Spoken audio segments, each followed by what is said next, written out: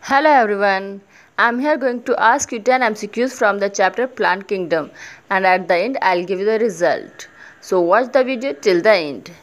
Question number 1 is mycorrhizal roots of dash are associated with some fungal symbionts. A. Pinus B. Cedrus C. Cycas D.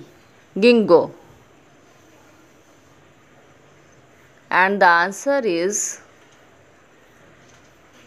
A. Pinus. Question number 2. Coralloid roots of dash have symbiotic association with nitrogen fixing bacteria. A. Pinus B. Cedrus C. Cycas D.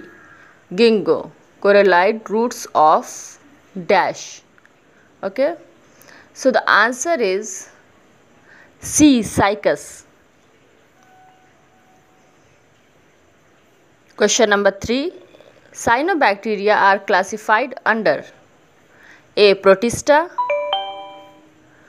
B. Plantae C. Monera D. Algae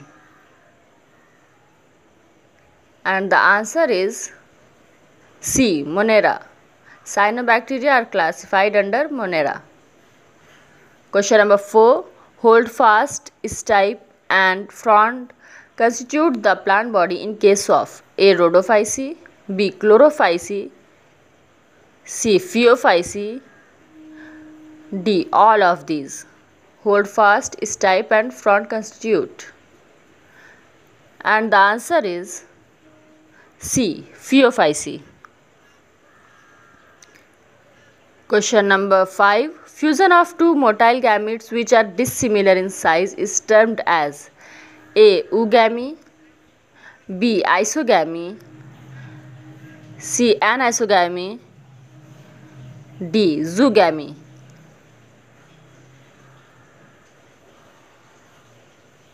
and the answer is C. Anisogamy. Question number 6. The embryo sac of an angiosperm is made up of A. 8 cells B. 7 cells and 8 nuclei C. 8 nuclei D. 7 cells and 7 nuclei and the answer is B. 7 cells and 8 nuclei. Question number 7. The giant redwood tree Sequoia sempervirens is a an Angiosperm B. Free fern C. Pteridophyte D. Gymnosperm The giant redwood tree is an and the answer is D. Gymnosperm.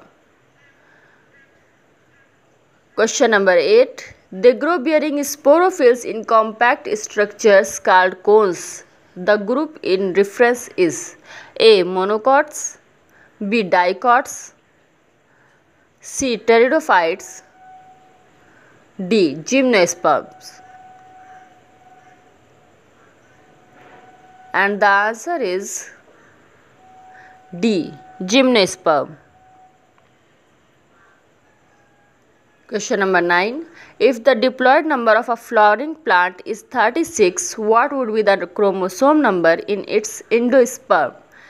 A. 36 B. 18 C. 54 D. 72 Pause the video and take your time.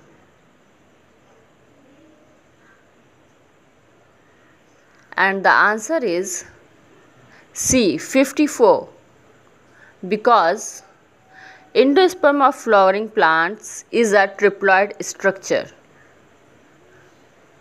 The last question is dash do not have free living gametophyte. A. Bryophytes B. Pteridophytes C. Gymnosperms D. Both B and C. and the answer is C. Gymnosperm. Now the time for the result. If your score is 8 to 10, excellent, move on to the next chapter. If your score is 6 to 7, mediocre, revise time to time. And if your score is less than 5, not satisfactory, learn the chapter again. And please don't forget to comment below your score. And for more videos like this, subscribe my channel and like my video. We will meet in my next video. Till then, bye. Thank you.